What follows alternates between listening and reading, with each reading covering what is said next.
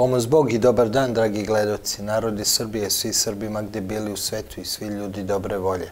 Ovo je emisija intervju produkcije medijskih kuće Srbin Info i Centar.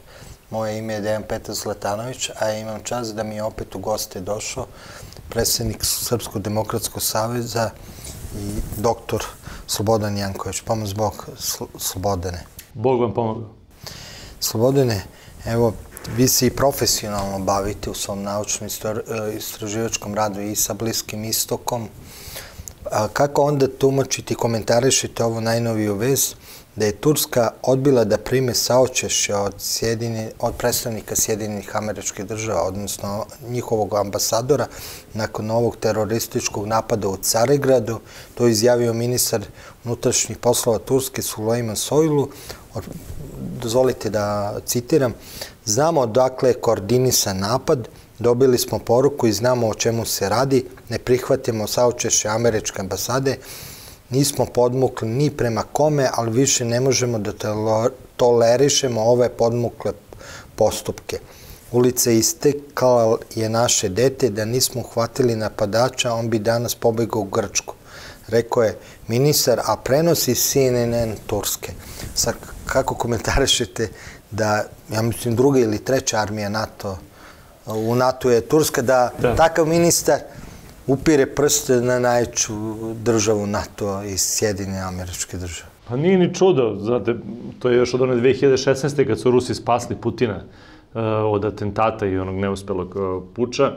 Tako da ovde ovaj, inače, uh, Sulejman Sojlu je jako dugo ministar unutrašnjih poslova, dakle čovek od visokog poverenja ovaj, Ređepa Tajpa Erdogana. I, e, a sama poruka je jasna. Dakle, on je ovde osudio Ameriku, a osudio je i Grčku, vidimo, kao tako nekog da. jataka ovaj, terorista i to se uklapa u te, ušte pojačanu tu njihovu retoriku protiv Grčke. Meni je zanimljivo to kad se spomene NATO, bio sam u septembru u Ankari i onda sam e, na jednom Držao je zamjenik ministra spoljnih poslova, ovaj, Faruka Makči, koji je inače kareni diplomata, zaista vrhunski diplomata turski. Držao je govor i još par turskih zvaničnika, a ispred, ovaj, ispred sale u kojoj je taj govor držan, eh, i tu sam mi postavio jedno pitanje, pa se ono svrnuo i na Grčku između ostalog i tako dalje, bio je oko dosta ovaj, jasan. Dakle, oni stalno šalju te pretnje Grčkoj u poslednje vreme. U stvari, oni kažu kako Grčka ovaj, njih, eh, kako preti Turskoj, kako ih provocira, a onda oni prosto moraju tako da, eh, da će oni odgovoriti oštro ili odlučno, zavisi od trenutka. Ali bilo mi je zanimljivo, bila je ta jedna brošura na kojoj je pisalo ovaj, ima li smisla učešće Turske u NATO? Znak pitanja. Da. E sad, u samoj brošuri pisalo je kao ima, naravno i tako, ali uopšte i sam naslov opet je indikativan. Provokativan. da, da, da. da. I na tako, tako da, naučnom skupu da se pojavi. E, pa i to je ipak i, i, da kažemo, i diplomatski skup, nije ovaj... Da, a oba zato. Da, da, da, da, da, tako to je bilo jako zanimljivo. Pa ništa, Turci su veliki trgovci i uh, to se videli prilikom ove poslednje posete Erdogana na Balkanu, kad je razgovarao sa Miletom Dodikom, kad je razgovarao, ovaj, naravno, i, i sa ovaj, Vučićem, uh, gde je on, to sam imao prilike da vidim i sam, prosto uh, Turci nemaju nekog poverenja ove naše muslimane, Albance i, ovaj, i takozvane Bošnjake, a, idu tamo gde mogu da zarade, gde mogu da očekuju neku dobit, uh, sa Srbima se mnogo lakše dogovaraju, a u ovim širim odnosima sa Amerikom uh, i sa Grčkom znamo, gledamo ovu situaciju koja se dešava tako sa ovim svetskim ratom koji je započeo, gde Turska uh, gleda da izmuze jednu i drugu stranu i nije uopšte naivna. Ono što dugoročno predstavlja jednu opasnost za rusku stranu, to je, dakle, uh, to stalno izlačenje koristi za sebe Turske, što je prirodno i normalno, mislim, za tu zemlju i za njenu, njenu vlast. Oni su uh, promenili naziv, oni su imali organizaciju turkofonih država, dakle država gde se govori turski, ono su jezici koji su proistekli iz starog tog turskog, altajskog, i e, promenili su naziv umeđu vremenu u organizaciju turkijskih zemalja, gde su ovi stanovi, Kazahstan, Turkmenistan i tako dalje, Uzbekistan. I e, ministar e, čini mi se spoljnih poslova, jeste spoljnih poslova Tursk, Turske, Melu Čavušoglu je prošle nedelje rekao, pošto su imali sastanak u Samarkandu, u Uzbekistanu, je rekao da oni teže da tu organizaciju pretvore u neku vrstu Evropske unije, odnosno, kako taj ga baš citiram, u neku vrstu jedinstvene države. To je direktan izazov Rusiji, ali i Kini. Odnosno, Turci e, na taj način poručuju i Amerikancima da su dobro došli kao partner za razbijanje tog, kako kažu, mekog trbuha Rusije, a s druge strane, naravno, čine i Rusima ustupke protiv Amerikanaca. Dakle, to je ta trgovina koja e, dugoročno može da bude, sad je dobra za Rusiju. Dakle, u ovom trenutku jeste dobra, jeste pozitivna, Rusijama je vrlo važno da imaju, tako, taj jug ovaj, miran, ali dugoročno će se postaviti pitanje zaista sukobljenih interesa. Dakle, oni ne mogu da budu strateški saveznici. A da li Turska ima mogućnosti za tako, ajde, ofanzivu, diplomatsku ofanzivu, pa posle i državničku ofanzivu? Pitan zato što ona ima svoje probleme i sa Kurdima, koji ne samo da čine, ja mislim, petinu stanovništva, otprilike. Pa da, to se ne zna tačno, ali... Imaju i šitsku isto manjinu relativno, ajde, malo nešto jermene, ali pre svega imaju e, te kurde koji su ono što sam ja gledao, u stvari oni vuku natalitet Turske, ne vuku Turci sami ono što mi zovemo. Neka vrsta su im šiptara naših, otprilike Albanaca, što su nama bili u Jugoslaviji. Pa me zanima koliko oni mogu to da uopšte da, da li je to mehor samo običan sapunice ili Ja, više volim da pričam o našim problemima. Ma, ali, ali ne, da se, jako mi je bitno zato što je utice, da, da, da. jer bojim se da će se to preliti, znate, kroz istoriju. Da, to da, da. mora da se prelije onda na Balkan. Jasno. Pa, uh, Turska, naravno, ima, ima velike probleme ekonomske, uh, a ima i tu potencijalnu nestabilnost unutrašnju, ali ovaj, trenutno su ti ekonomski problemi najveći, dakle, inflacija velika koja je zvanično već preko 85%, nezvanično 100%, možda i više. I, e, i imaju stalni taj deficit u spoljnoj trgovini. Dakle, oni su stalno u minusu što se tiče spoljne trgovine. Ali, e, istovremeno, e, Erdogan radi jedan e, vrlo, vrlo jednu dobru stvar, zanimljivu stvar u ekonomiji. Dakle, on pokušava da kamatu na međubankarske transakcije, gde banke pozajemljuju novac jedna drugoj, a onda bi trebalo taj novac da daju konkretno privredi i narodu, mislim, za, kad uzmete kredit za stan, za kola, za što je već, ali u suštini je više za prirodu, za biznis, za posao. E, pokušava tu kamatnu stopu da svede na nulu i da ovaj, na taj način obori ovaj, inflaciju. Dakle, to je ono što radi, zašto ga kritikuje MMF, naravno, Amerikanci, svi ostali govore da to ne valja, ovaj, da to ne sme da se radi. Ako on to uspe, a da mu ne dođe do ovaj, potpuno ekonomske propasti, dakle, on će osigurati sebi sigurno još, ovaj, još jedan mandat na vlasti. I e, on tu naravno ima podršku Katara, a zna, svestan je naravno da mu Amerikanci rade o glavi i onda je zgodno iskoristio ovaj sukup između neizbežan sukob između istoka i zapada, da se umetne sa koliko ima snage i mogućnosti. On pokušava, znate, pokušava da gde god može ovaj, iskoristi situaciju i konkretno ova saradnja sa tim e, zemljama Centralne Azije mu dobro dođe iz unutrašnji teren. Dakle, spremajući se za izbore koji su u junu sledeće godine, on može da kaže, pogledajte, mi smo napravili veliku državu, veliku silu, sledeće godine oni slave 100 godina od Turske republike, onda će on reći, eto, mi smo postigli ono što smo želeli, Turska nije više samo jedna tu država ovaj, na ćošku Evrope i NATO-a, nego jedna samostalna sila, koja ima svoje sfere uticaja u Centralnoj Aziji, na Kavkazu, na Bliskom istoku, hteli su i na Balkanu, ali ne polazi za rukom, ali u tom smislu, znači i ta njegova promocija lična će poslužiti njemu konkretno i za same izbore. A i drugo koristimo, znate, što ima veći uticaj tamo, to više može da traži od Rusa. E sad kad smo sa Rusima, ovaj gasni dogovor, koliko je on stabilan? Jel on, ako je stabilan, može da imaju utice i za nas, taj rusko-turski, ali on moguć da se preko njega Evropa snabdeva sa gasom? Pa, pa, da li je moguće? Pa naravno da je moguće. Pogledajte jednu zanimljivu stvar. Da li je, odakle se snabdeva veći deo ruskih zemalja?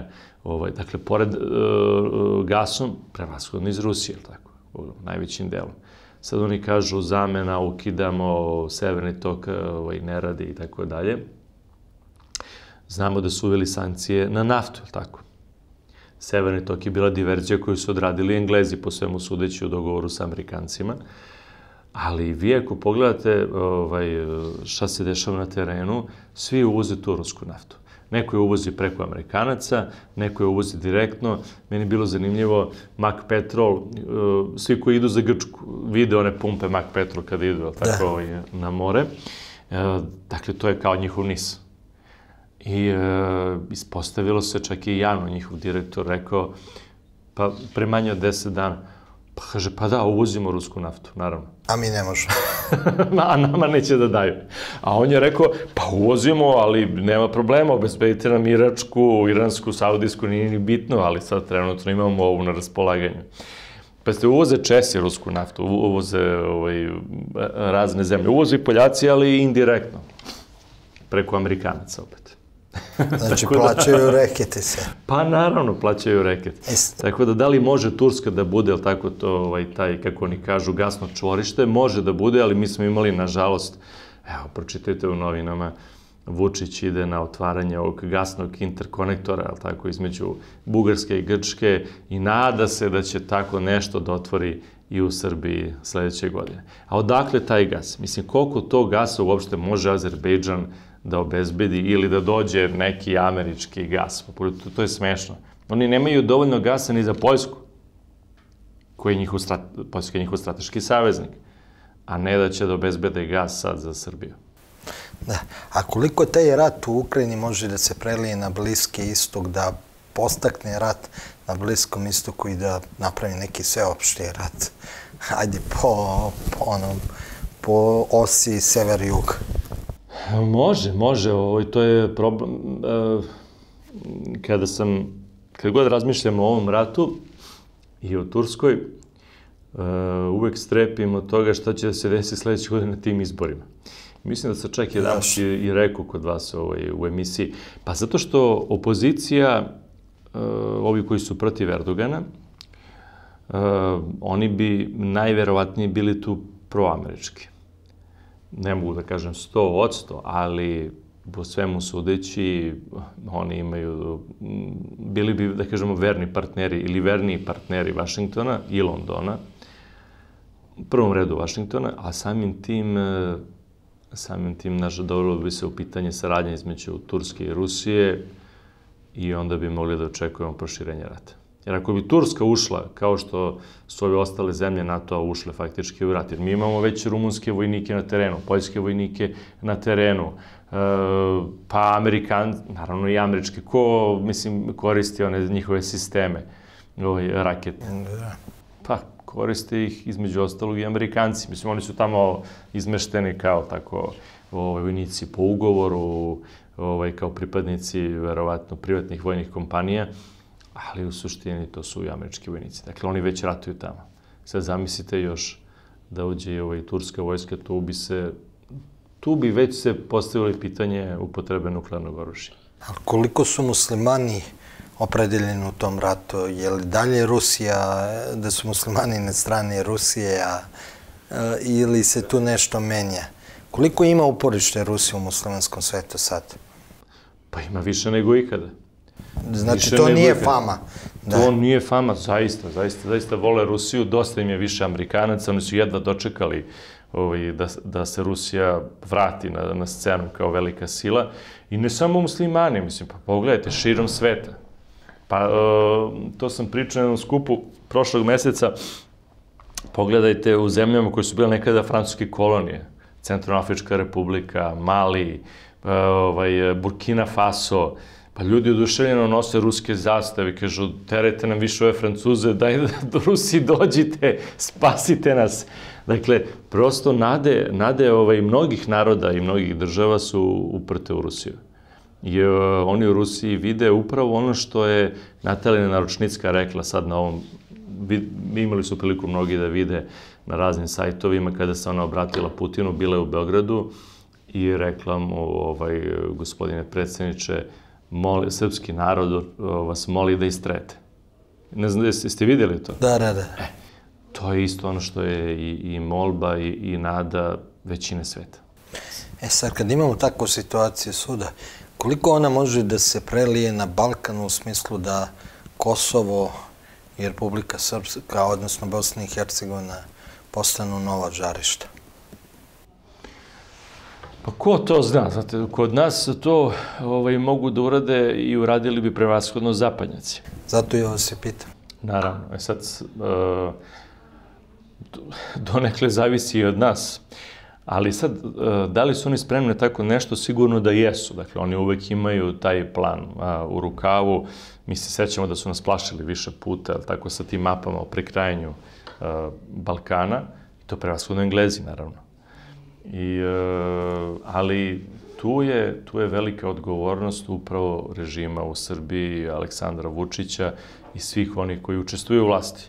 Jer vidimo da Mile Dodik e, ovaj, im ne odgovara, da iz različitih razloga on, on vodi jednu državotvornu politiku, politiku saradnje sa Rusijom, pa čak i sa Turskom, tako?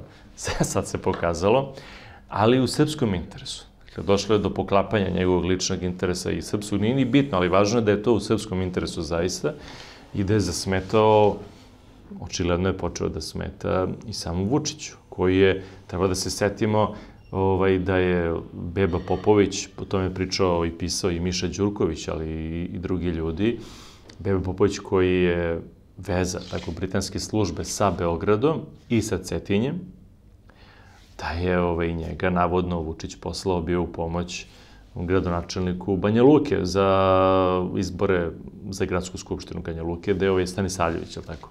Da. Izabran da je ovaj, vodio kampanju protiv eh, Mileta Dodika i ta kampanja se videla sad i čak i na ovim izborima. Tako, za, za predsednika Republike Srpske, parlament Srpske i za predsedništvo Bosne i Hercegovine. E sad, Šta mi, šta mi radimo? Zašto kažem ovaj, šta radi Srbija?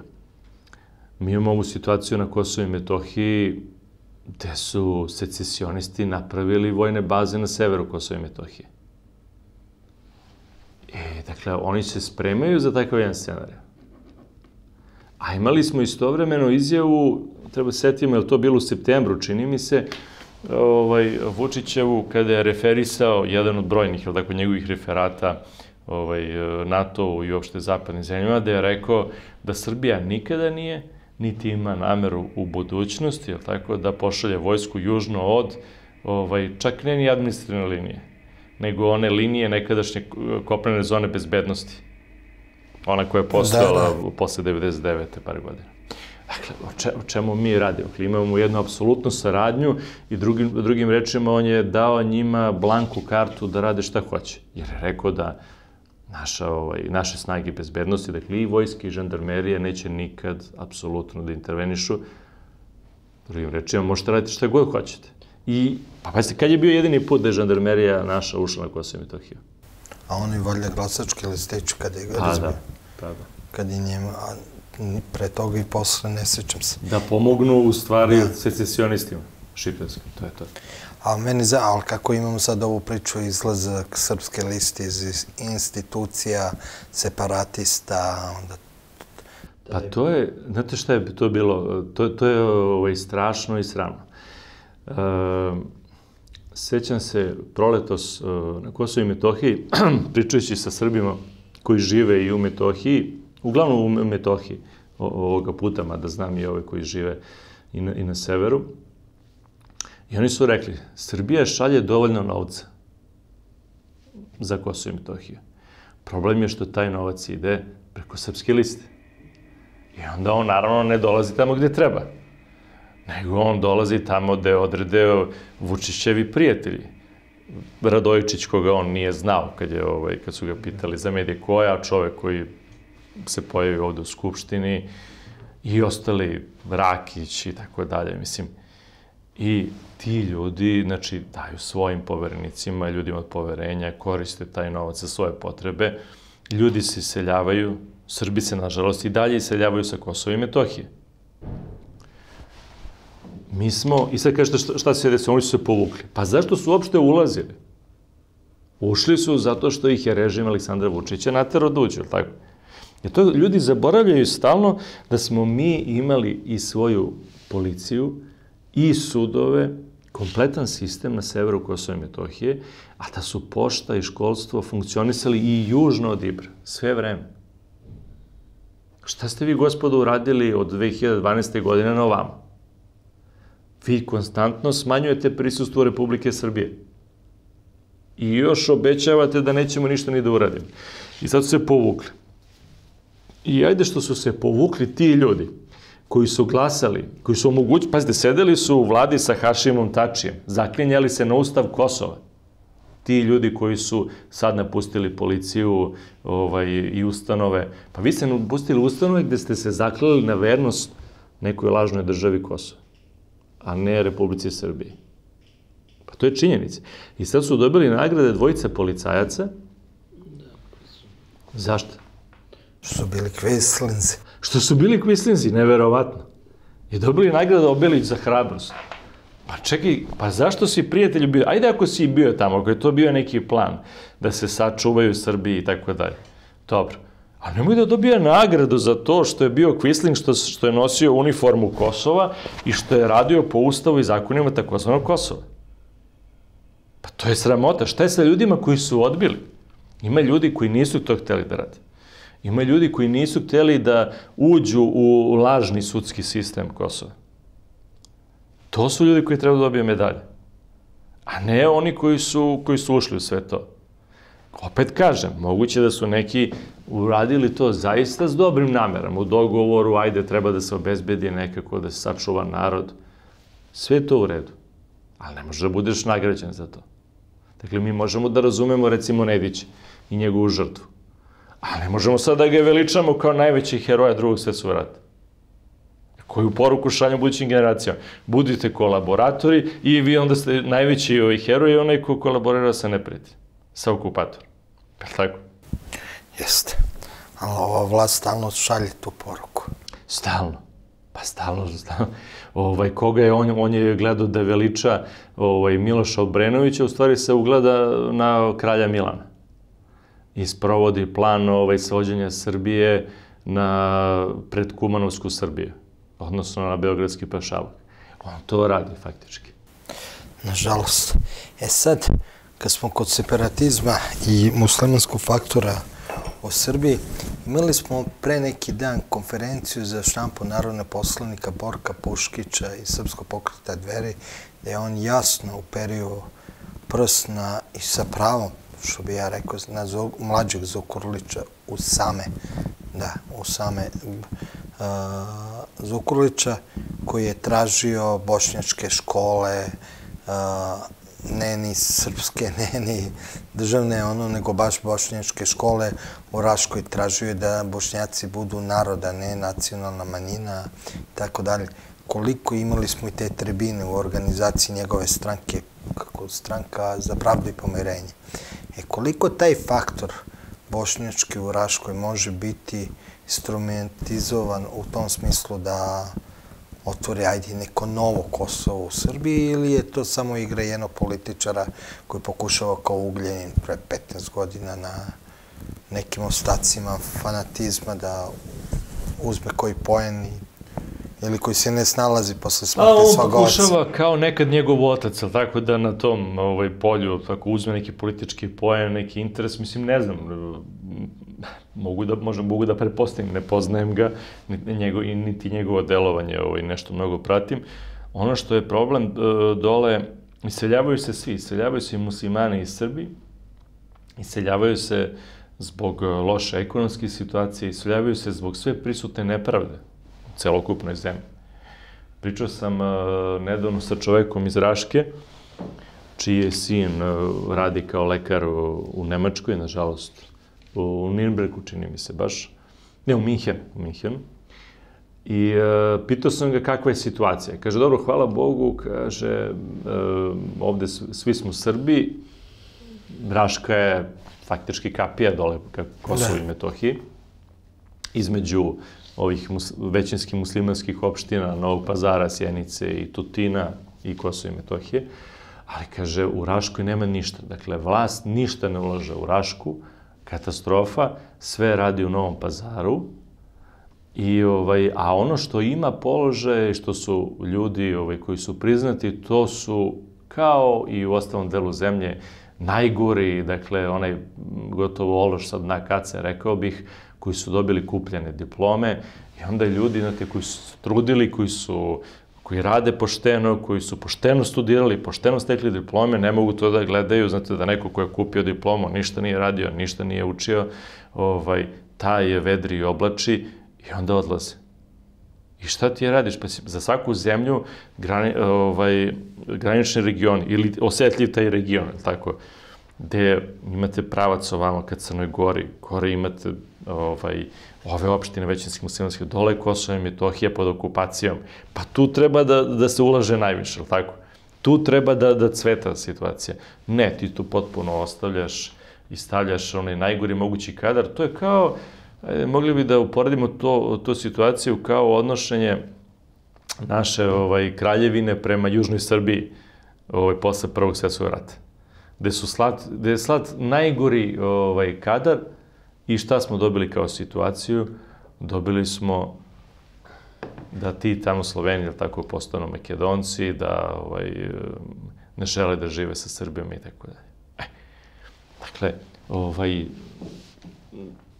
o čemu god da pričamo. Sad, da li postoji opasnost separatizma ovaj, u Raškoj oblasti? Pa, potencijalno postoji. Mi se sećamo Cobela, tako, onog nekadašnjeg ambasadora Nemačke koji je pretio, kako je on rekao, Sančakom i Vojvodinom. Mi znamo što naši neprijatelji hoće. Oni hoće upravo ono što sam malo pre rekao. Pred Kumanovsku Srbiju, dakle Srbiju koja bi se svela na Beogradski pašaluk i sve preko toga za njih je velika Srbija. I to će stalno da ponavljaju. Ali to što oni rade, to je njihova stvar. Šta, šta mi radimo? Da li mi pokušavamo ovaj, da promenimo politiku, da kažemo, čekaj, ovi naši muslimani, pa ko su oni? Jesu li oni zaista neki drugi narod? Ili su oni jedan isti narod kao mi Srbi? Da li mi uh, pokušavamo tu poruku da pošaljamo? Kroz školske programe, kulturne, kroz medijske sadržaje da kažemo, braćo, mi smo ista braća, iste krvi. Nismo iste vere, ali jesmo istoga, istoga porekla. I tako prevasudno da pristupamo. I ja sam uveren da bi taj pristup dao ploda. Ne bi svi rekli, e, dobro, jeste, ja sam Srbi. Ali sigurno jedan deo bi. Jedan deo bi se osvestio. Jer imao sam prilike da pričam i sa muslimanima, pa čak i sa muslimanima iz Bosne. I sa njima kad pričate malo duše, Čak i oni, na primjer, i oni najgrđi, ovaj, kažu i Zenice konkretno. Pa dobro, nekad smo možda bili Srbi, više nismo. Pa bez na kraju razgovora dođe do toga, da kaže možda smo nekad i bili Srbi. Pa dobro, ček, ej sad to si rekao, ajmo polako korak dalje. Ali ajde da radimo na tome. Mislim, to je istina istorijski. Nije to nikakva, nikakav šovinizam, gluposti što pokušavaju naši neprijatelji da nam priše.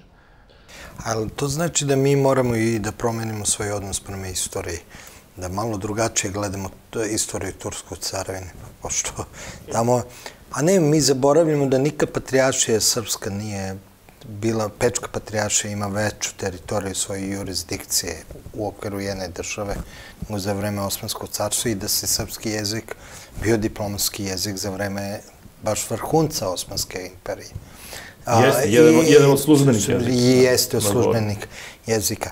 Kako onda da to napravimo i to pomirenje sa svojom prošlošću, da ono što jeste bilo okupatorski razlučimo od onog što je ipak bilo i deo neke naše afirmacije i pod takvom okupacijom kako je bila otomanska carstva, carstvo, jel? I naši ljudi i naša krv, što se kaže, gradila to carstvo. Ako ništa drugo, ja kad čitam turski istoričari, oni kukaju da do 19. veka kažu svi su vladali Turskom, samo nisu Turci. Misle na velike vezire. Ja, velike vezire, da. jel? Kažu, svi su bili sultanovi robovi, a niko nije. da. A dobro, bili su age, bili su svašta. Dobro, ali oni, ali, ali Carigrad je bio pod kontrolom. Pa, e, mislim da, da, da je to jedan pogled koji upravo Turska pokušava da nam nametne. Ili ne da nam nametne, nego da nam prosto prouče na jedan fin diplomatski način i kroz svoju kulturnu politiku. Da mi kažemo, pa je tu u tom carstvu, oni to stalno ponavljaju svi su prosperili, to je bilo multikulturno carstvo, pa, mislim, pazite, to su priče. Pogledajte malo, čitajte autore iz 19. veka, 17. 18. ljude koji su prolazili kroz ovaj, naše ovaj, zemlje pod Turcima, kako je to izgledalo. Katastrofa. Uzmite Hajduk Stanka. Eto, Hajduk Stanko, Janko Veselinović, pa kako se ponašaju ovaj, te age Dobro, ali to je 19. vek, vek propadanja Turske. Pa zašto je Srbija bila ovaj, šumadija centralna, obrasla šuma?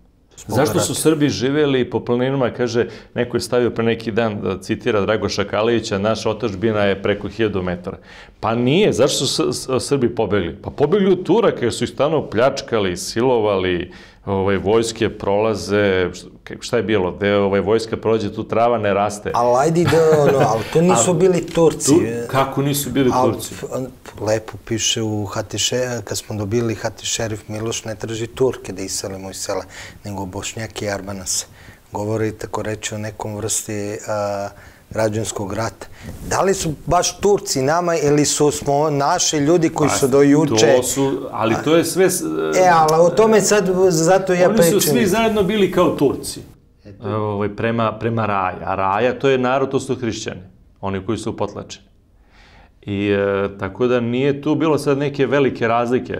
Naravno da u tom carstvu među muslimanima bilo je Arapa, Kurda, E, crnaca, raznoraznih naših ovaj, muslimana, Srba, Grka i tako dalje. Pa najveći graditelj za vreme ovaj, e, Mehmed Paša Sokolovića, njegov najbolji, najbolji prijatelj je bio Grk. Ali poreklo, ali naravno isto, isto kao i on se potručio. Ali e, ta priča o tome, Srbi su gradili, učestvovali, znate, to je jednostavno si bio uključen u carstvo, Tako, se, tako im je bilo lakše da kontrolišu pravoslavne preko patrijaršije. Patrijarh je odgovoran za skupljanje poreza, za ovaj, neke nadležnosti i tako na taj način lakše, deo poreza naravno ne sve, i tako lakše ovaj, kontrolišeš taj narod. Prosto bilo je puno pravoslavnih, bilo je puno Srba, kao što je bilo i puno Grka i drugih, i morao si na neki način da ih kontrolišeš. A zašto su nama dali patrijaršije? Pa da li su nam, to jest vratili patrijaše? Pa da se ne bi pokatoličili. Jer im je pretila opasnost od katolika. Od Venecije i Austrijanaca. I onda normalno, to, to je, mislim, to je po Božjem promislu. Po Božjem promislu je došlo do obnavljanja patrijaršije, jer oni su, pa se Turci su, kako, kako Bog deluje, eto, to je isto, isto jedan fantastičan primjer. Kad je pao Carigrad 1453. Uz pomoć Turaka je srušena Unija. Jer prethodno je patrijarh Carigradski primio uniju i car, poslednji Konstantin 11. 1452. godine. I kad su došli Turci, naravno su rekli, ne može kod nas svetski poglavar da bude podređen nekome koji je izvan naše careve. Naravno, to je, što kaže, čudni su putevi gospodi ali ovaj, e, treba da, da malo razmišljamo, dakle nisu tu nikako Srbi cvetali. Srbi su bili iskorišćeni kao vojnici e, za Turke, kao ovaj, graditelji, kao robovi. Pa vi kad odete u Ankaru, koliko ima Srba po? To mi je bio ovaj, utisak. Prepuno Srba i Grka. A to su danas sve Turci. Neki Jusuf i Muhamed i Amre i šta su već, ovaj, e, Fatime i tako dalje. Ali vi vidite lica. Vidite se srpska i grčka lica. Naravno, ima i oni koji su poreklom Turci. Ne, govorim, ali ako hoćemo ove koji se danas zovu bošnjacima da vratimo srpsu, šta ćemo sa njihovim osjećajem i njihovim papčenjem prema uh, Osmanskom carstvu. Kako pamćenje nas pravoslavaca ne da pomirimo, ali da uskladimo sa pamćenjem naše braće muslimana, a da to ne izazove sukob među nama. Ne govorimo o tome da zatiramo istinu i da je sklanjamo pod pesak, nego kako da za... U tom smislu sam mislio, kako da je uskladimo, jer da. bez istorijskog zajedničkog pamćenja nema ni naroda. To je jedan po meni uslov, da imamo zajedničko istorijsko pamćenje.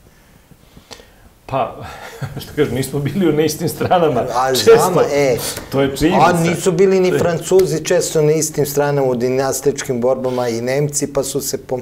pa imaju jeste, to. Jeste, jeste. Ali... Uh, Vadili su i oni sebi da, da, da. decu iz utrobe. Ali mača. pazite, i Rusija je ovaj dobar primer.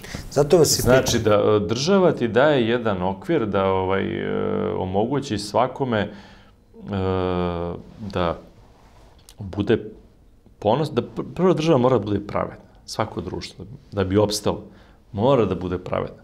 Naša je duboko nepravedna. I tu nepravdu, a poslije ćemo pričati o jednoj od poslednjih epizoda, ova epizoda sa tetkicama i domarima, da, da, e, onda koriste naravno razni naši neprijatelji da seju razdor, neprijateljstvo od verskog, političkog i tako dalje. Kako ovaj, mogu Čečeni danas da se bore ponosno na strani Rusije sa ruskom zastavom, a kad su, tako, ovaj, do pred 20. godina su ratovali protiv te Rusije. E, isto tako mi možemo, ali upravo pričati to da mi imamo zajedničko poreklo, da imamo istu krv. I dobro, ne treba, ne treba ništa nametati, jer i Hristos hoće da mu priđemo slobodno, a ne na silu. Ali, ajde da im pričamo da smo to, da smo isto, da smo braća po krvi. A onda ovaj, to će dati svoje plode. Da, da ne insistiramo na razlikama, ne da se odričemo svoje vere ni slučajno. Jer to je nešto što je i iznad naroda. Ali ovaj, da ukazujemo na ono što nas vezuje, kad su konkretno muslimani u pitanju.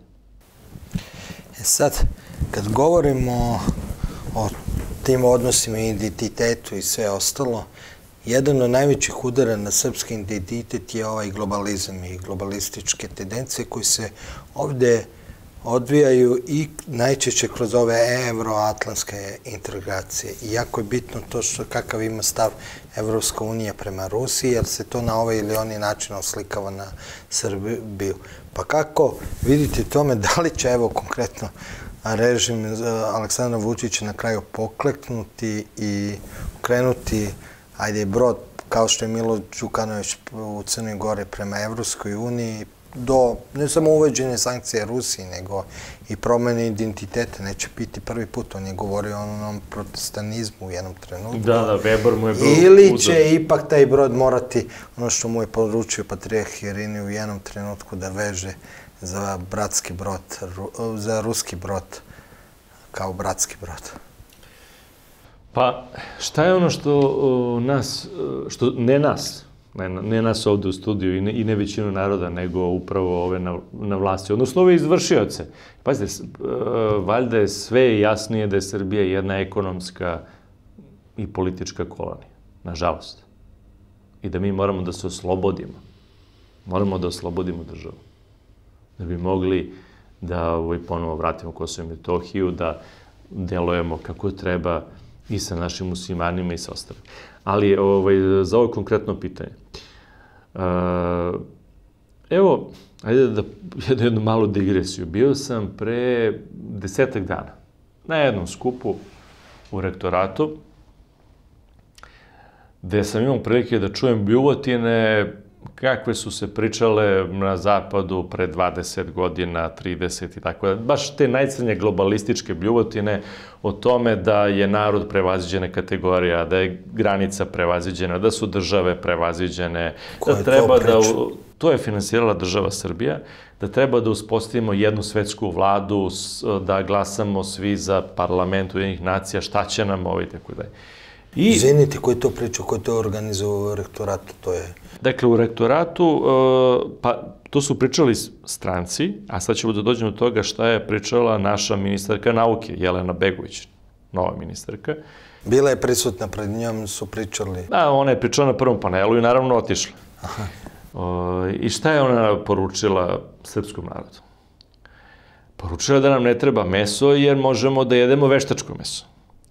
Poručila je da nam ne treba mleko, jer ćemo da pravimo mleko od kvasca i da idemo ubrzano u četvrtu industrijsku revoluciju i u Evropsku uniju. Dakle, to je program ove vlade, kao i prethodne, kao i niza prethodnih. Svatate. Dakle, pa čekajte, Jelana Brnebić najavila otvaranje e, nekakvog e, haba ili kako ga je već to nazvala, ne znam ni dalje umela da se pravilno izrazi, ovaj, svetskog ekonomskog foruma u Srbiji.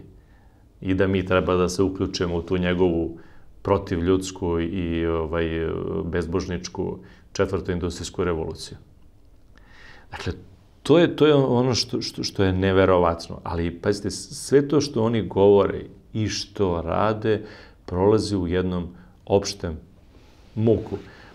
Da li, su, da li je ova vlada vlada za globalizaciju? Pa, očigledno jeste. Očigledno jeste. A ovaj, čiji su oni kadrovi? Da li oni rade u korist Srbije? Da li je nama bolje? Da li, narode, da li živiš bolje? Mislim, ljudi treba da se razmislimo kako mi živimo. Prodaju nam priče ovaj, o krizi na zapadu, pa jeste kriza na zapadu, ali pogledajte, mislim, cene na tom zapadu. A možemo mi sad odemo u Pariz, pa gledamo u Parizu je sve skuplje, pa jeste, u Parizu je skuplje nego u Berlinu. Ali ajde, idi u Prag, u Varšavu. Pa cene su, priča sad u glavnim gradovima, a po unutrašnjosti naravno da je nižo. Pa odete u Prag, cene su kao u Beogradu ili niže nego u Beogradu. Jeftinije. Po samo uslugama, supermarketima, restoranima, kafićima. Evo, moj drug, priča mi drugar, bio je 5 dana u Pragu sad. Još ne, neverovatno. Pivo u kafiću 150 dinara.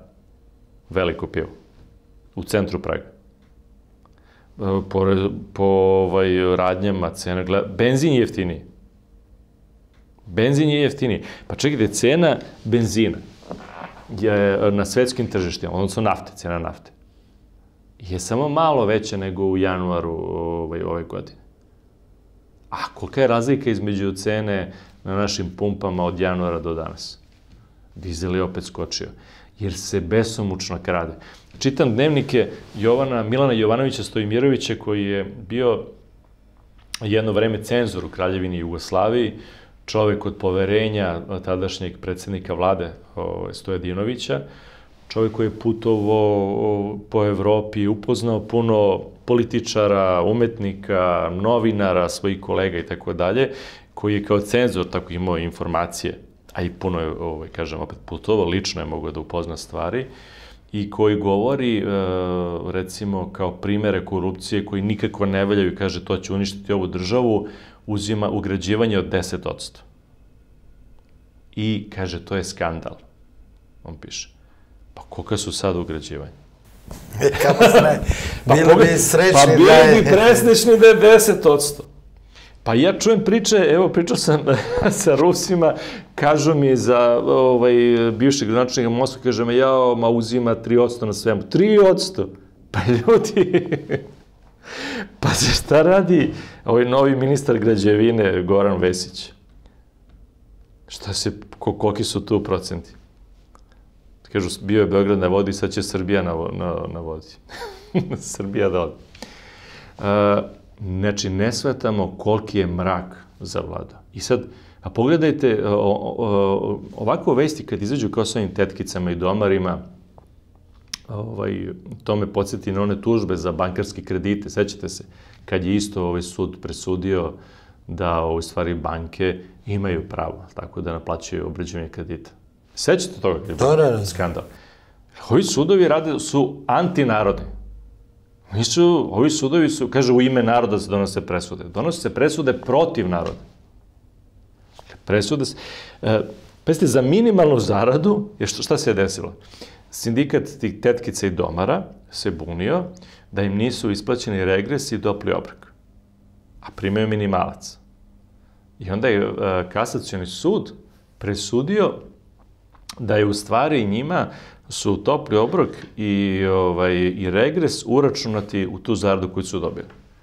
Pa čekaj, Jer zakon određuje kolika je minimalna zarada u Srbiji.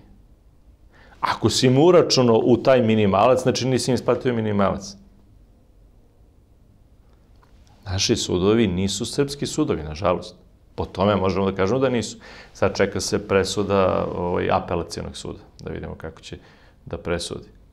Ali mi smo e, jednostavno, e, šta će ova vlada da odluči? Ova vlada, to je valjda svima jasno, a i vi pratite ih svih ovih deset godina, e, imamo ljude koji su se obećali raznim stranama i koji ovaj, imaju svoj, svoju zaradu od poslova i sa Zapadom, i sa Istokom, i sa Arapima. To je ono što je Steva Gajić rekao, treba Srbiju posmatrati, jedan od načina posmatranja, kad kažemo Srbiju, ne našu, našu državu Srbiju, ne našu istoriju, kulturu i tradiciju, nego ovu vlast, kao neku vrstu holdinga, vrstu kompanije gde imate Zapad ima akcije, uh, Rusija ima akcije, Kina ima akcije i Arapi imaju akcije. Tako, tako je rekao moj kolega Steva Gajić, a to nije ovaj, daleko od istine.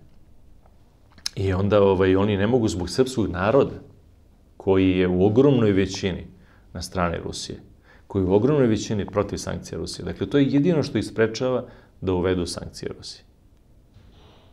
Samo to. Jer zna znaju da prosto ako to urade, da će izgubiti vlast. Mislite da će, neće dobiti onda pomoć, na primjer, neke desantne jedinice NATO-a koje će da... Ne bi bilo prvi put NATO-a da tako zaštiti pa demokratske bi bila... presestavnike da, od da, da. rulje. Ali to bi bila onda e, direktna okupacija. Znači, bilo, ta okupacija bi bila mnogo jasnija nego ova sada gde navodno nismo okupirani. Dakle, e, jasna, ja, mnogo bi jasnije mogli da, mislim, znamo i sad ko su nam neprijatelji, ali bi sama situacija u Beogradu, Čačku, Somboru, Subotici, Pjerotu bila nam bila jasnija. Sad, kad imamo okupaciju, ali imamo svoj, kažete okupaciju, ali imamo svoj parlament, imamo tamo neku i patriotsku opoziciju, imamo i građansku opoziciju, imamo i vlast, nije više jedno umilje, što bi se rekao. Hajde. E sad... Imamo građansku opoziciju koja radi ovaj dobar deo za Vučića, tako što su oni za sankcije Rusiji i onda on ispada kao da je se, patriota. Da, kako da. vidite ovaj, ovih mesec, dva, koliko je Skupština zaseda, da je rad nove Skupštine? Da li se vidi tu neke snage koje bi mogle da ajde, ne da promene odmah režim, ali da mu pariraju do negde, ili je to još jedna farsa? Pa, znate šta, e, e, prvo, iskreno, slabo gledam televiziju. Dobro, ali pa ako... E, čak i sama skupština je, mislim, strašno i zagledati. Ovo, pre neki dan, ovo, sam baš pustio neki snimak i čerka gleda, kaže, tata, šta je ovo, ko su ovi ljudi? Pa rekao, skupština, sine. Pa kako pričaju, ovo je strašno. A, šta da ti kažem. A, naravno, da li postoje, e, postoje ljudi koji rade u, u srpskom interesu, Sad zašto, ja znam da se žale, ovaj, e, čuo sam da se žale Miloš Jovanović, Milica Zavetnica, da su manje u medijima, da su skrajnuti iz medija i tako dalje. Sada. Ali prosto to je deo ovaj, ove Vučićeve mašine koja, ajde, dobro je da, da bude ovaj, neko da ima neki procenat, da se pojave, jer treba, treba očigledno mu je trebao parlament sa opozicijom. Sećamo se, u prošlom nije ima. E. A, ovaj, ali da opet ne odskaču mnogo, da nemaju prostora da ugroze, da ugroze i njega lično. I njegovu stranku. E sad, e, ja znam da što se tiče dveri, znam da oni zaista uh, pristaju na niz inicijativa sa ciljem da se uradi nešto, ovaj, u sve, si svako od nas ima milion mana, naravno. Ali znam da oni, čini mi se i najviše od svih, uh, uvek pristanu šta god da je ovaj, za korist države, za korist naroda, znači ne pričam da je to idealno. Znam, ali da, da razumem se. Razumete? Ovaj, e, I da zbog toga prave i greške između ostalog. Ne zato što su za državu i, i za narod, nego nekad možda sa nekima koji nisu za to pa stanu zajedno. Ali dobro, u principu iz dobre namere, tako da ako bi nekog mogo da izdvojim, ovaj, mogo bi da izdvojim njih. Ali evo imali smo udruživanje četiri parlamentarnih stranaka vezano sa inicijativom pokret za očuvanje Kosova i Metohije. I oni su stali u parlamentu, bila je i neka inicijativa, traži se i vanrena sednica Skupštine Kosova, ali taj pokret je jedan put zanemeo. Pa, da li mogu intelektualci sa parlamentarnim tim strankama da predstavljaju neko jezgro buduće jače opozicije ili trebaju oni da preuzmu? Da li intelektualci uopšte u Srbiji imaju snage da se organizuju i da nešto budu i neki činioc u tom smislu? Kao nekad, ja se sećam kad je bilo 92. godine pa je bio onaj vidodanski sabor pa su se onda okupili neki akademici s jedne yes. strane pa su bili s druge strane opozicije. Onda smo imali čak i 5. oktobra tu istu sličnu priču. A bilo je 96. 7. Na onim govorima su dolazili. Da, da, ali imali smo uvek tako. Pa čak možemo da kažemo i 2012. donekle je bilo da skupili se određen broj intelektualaca pa su podržali SNS, verujući da će biti stvarno neka kvalitetna poromena. Mnogi dobro, su se i povukli. Oni su slabo imali podršku, ali ja, dobro, bilo je, recimo, pokojni Zoran Petrović Piroćanac je i Ljušić su bili tako neki, pa su se skloni, bio i Dragan Petrović, vaš kolega, pa je i on sklon. Ljušić i veliku materijalnu korist izvukla E, dobro, posle, neki su izvukli materijalnu... Dragan Petrović nije, nije ni Zoran Petrović, Petrović Piroćanac. Dobro, neki su izvukli korist, neki da. nisu, ali su skrenuti, nisu deo mislim, nisu ministri, nisu, jel makar je Milošević, na primjer, jednog Markovića znao da sačuje se, da, Mihajla sa strane, gledali su da ih tu budu pored, ali ovde ne. E, da li mogu uopšte tako da naprave to neko jezgro ili moraju samo stranke to da rade ili neko treći? Pa, e, treba, pošto smo mi već u, u suštini, ajde da kažemo, poluokupirana zemlja. Naravno da, ovaj, da pokret otpora treba da se širi i da jače. Problem, e, sad kažem ovde, pokret otpora, ne mislim, ja ne pozivam na neku revoluciju oružanu, da. ali moramo da se oslobodimo u suštini od te nadstrukture.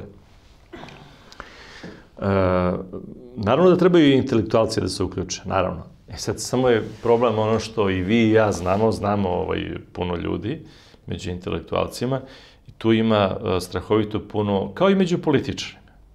Pa, pogledajte, ko su nama političari? Najveći problem je što čestiti ljudi kažu često, e, ne uvek kažem, ali često kažu, ja neću politiku, to je prljava rabota, ili to je zanat gde moraš da se uprljaš, neću ja u to, i onda im kažem, pa dobro, onda ovaj, dostanu ovi.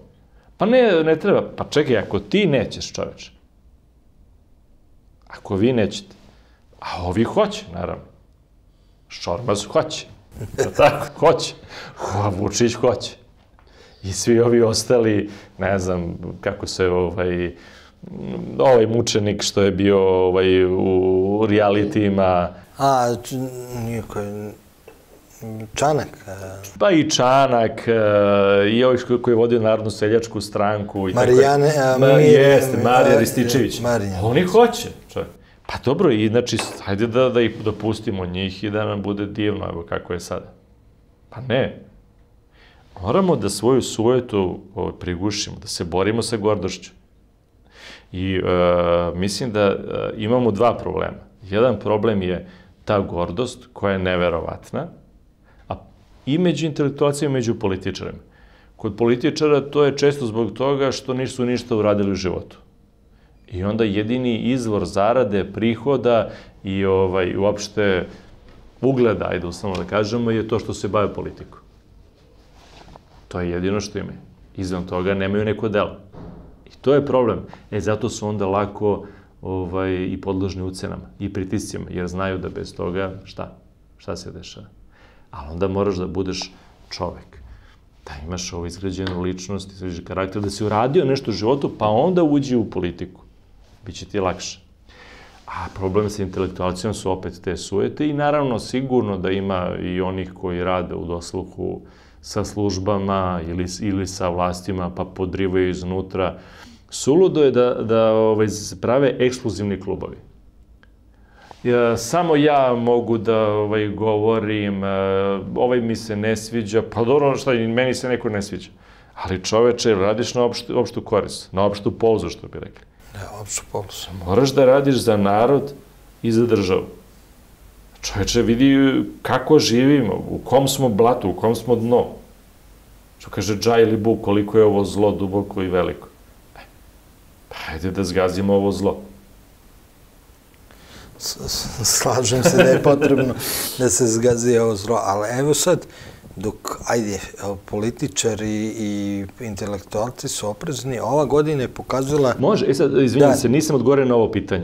Uh, meni je samo tu bilo nejasno, i treba da se odružuju, nije problem, nije ni, uh, mnogo ljudi je reklo, a i to preterujemo, sad tražimo stalno ovaj, uh, ovaj, dlaku u jajetu, pa ne znam, pojavio se Vuk Jeremić, a on ima, ma svako ima nešto, čoveče. Pa, ti dok nađeš tog čistog, koliko će ljudi da ostane? Ko je taj koji je apsolutno čist?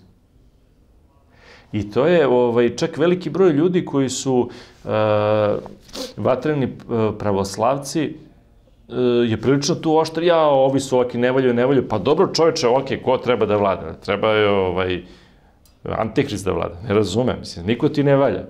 Pa čoveče, pogledaj prvo sebe, ti savršen, ne postoji takav čovek. Samo je Hristos savršen.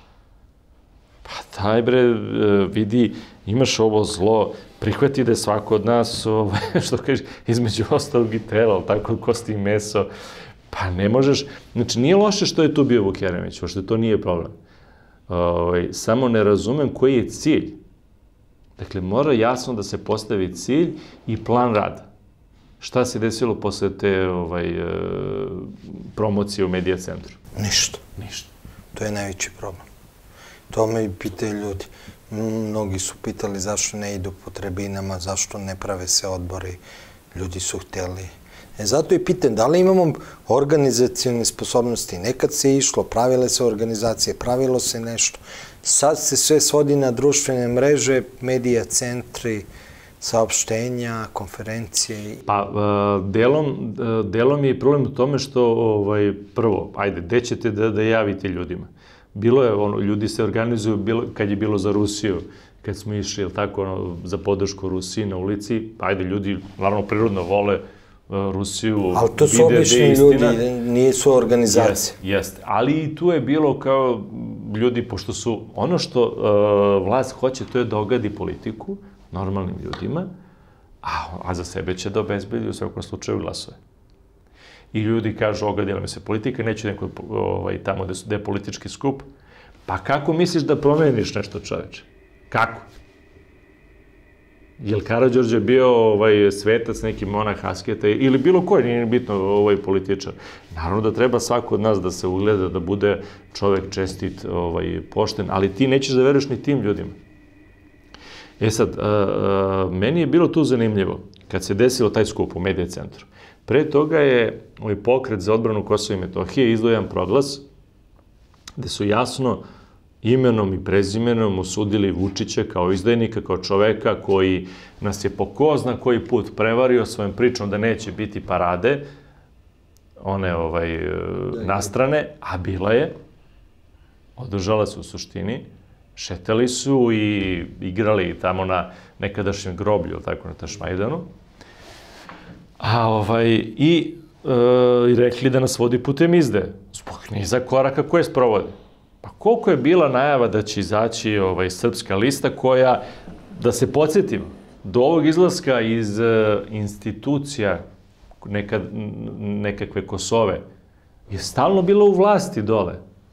Oni su partner u vlasti i Kurtija, i Tačija, i koga god, je li tako? Da, da, Haradine. su bili u vlasti, Haradina, po čemu mi pričamo? E, zbog toga su oni osudili njega, a onda je došao ovaj drugi proglas, gde se nije spominjala vlast uopšte. I dobro, ajde, bio je taj skup, zašto nema ovaj koraka dalje? Mora da bude nešto, jer pa imate četiri stranke. Tako, četiri stranke i niz intelektualaca, pa i na neki način paramedija, internet medija, imate tu podršku. To sam vidio i kod vas, ovaj, mislim, u jednoj, jednoj emisiji ste postavili pitanje, da li baš sa Draganom ovaj, Petrovićem, čini mi se, a mora da bude neki sledeći korak, šta, šta se radi? Zašto je to samo tako, ne znam.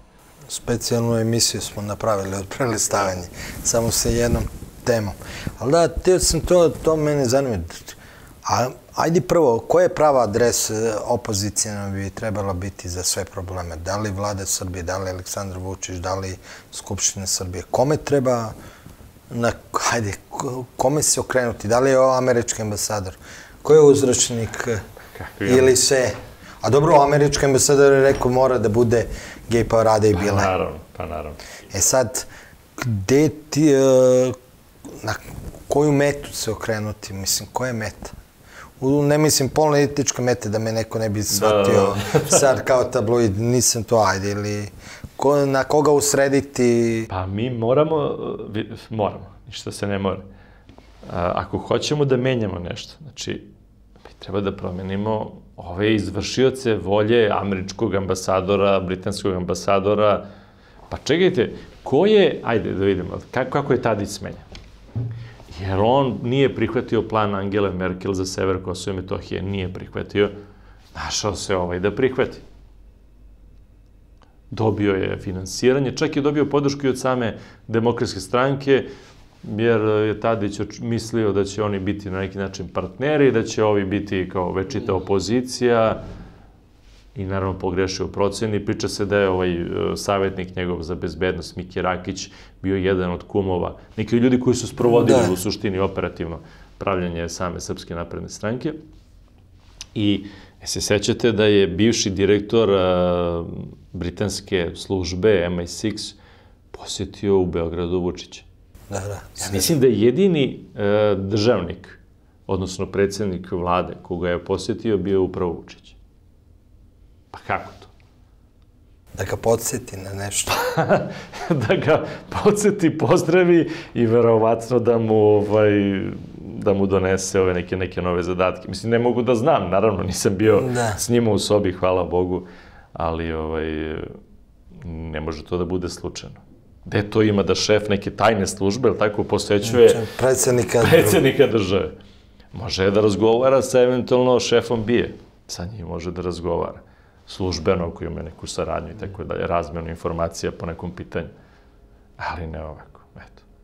I ovaj, dakle, moramo, mi ne možemo da a, smenimo američkog ambasadora, ne možemo da smenimo britanskog ambasadora, Evropsku komisiju i tako dalje. Mi ono što možemo, to je da sklonimo ove naše. E, to znači da nam treba patriotsko, rodoljubivo, ovaj, sabiranje, ali ne ono busanje u grudi, jer i Vučice ovaj, busa u grudi, nego zaista, uh, kažemo, e, ljudi, moramo da sklonimo ove. Moramo da ih sklonimo, moramo da uklonimo ovu nepravdu, gde najgori dolaze na pozicije. Sistem je dubinski, dubinski zatrovan u Srbiji.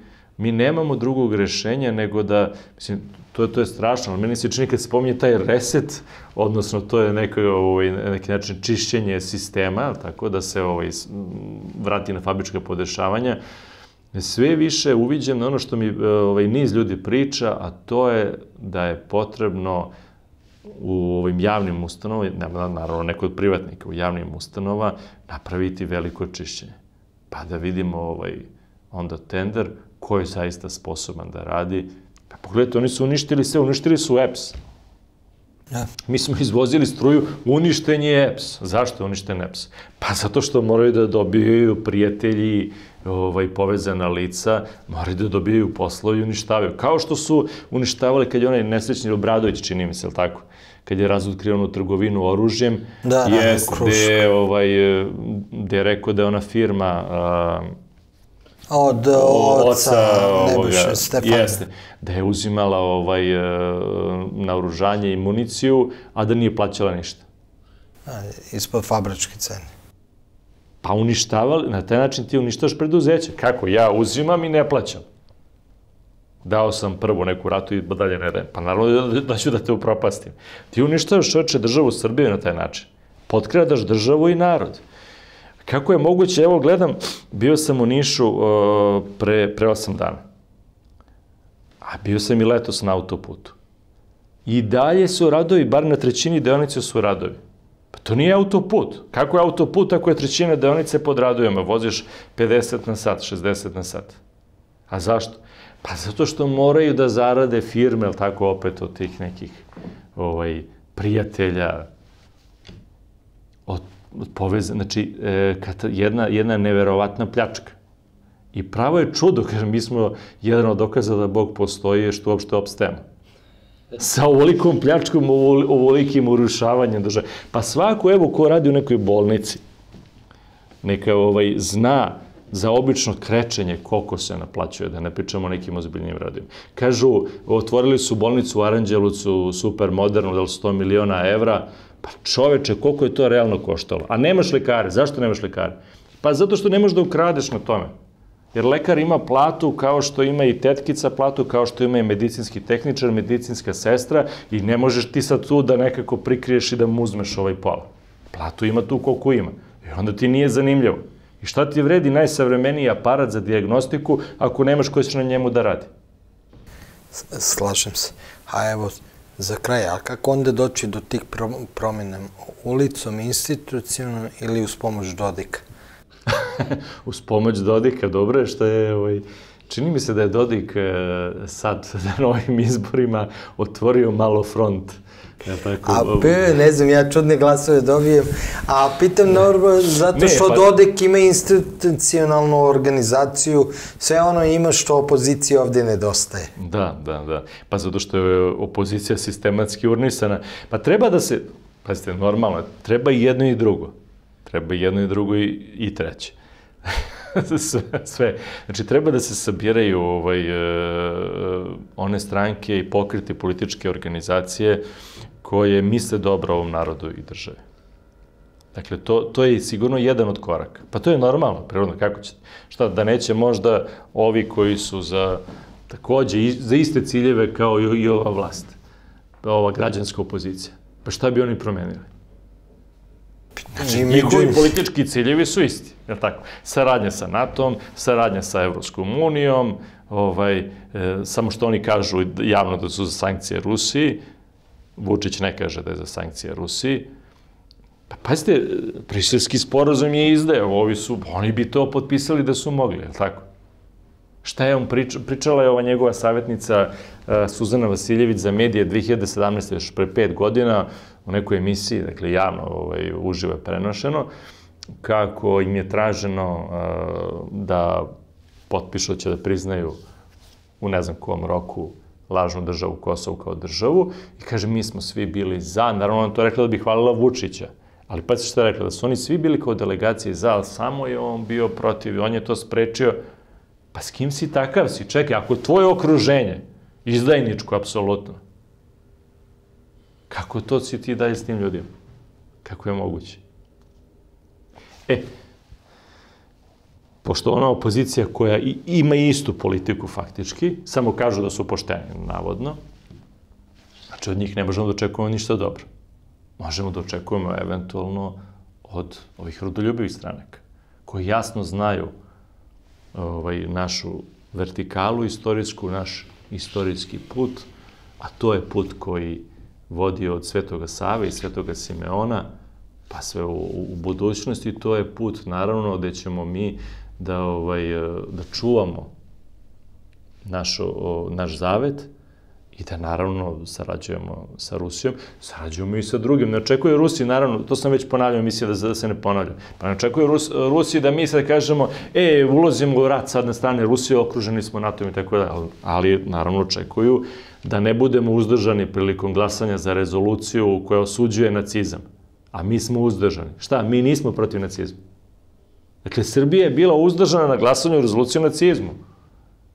Po čemu pričamo? Znači, e, rezolucija koja osuđuje veličanje da, da. nacizma i tako da, i mi smo uzdržani.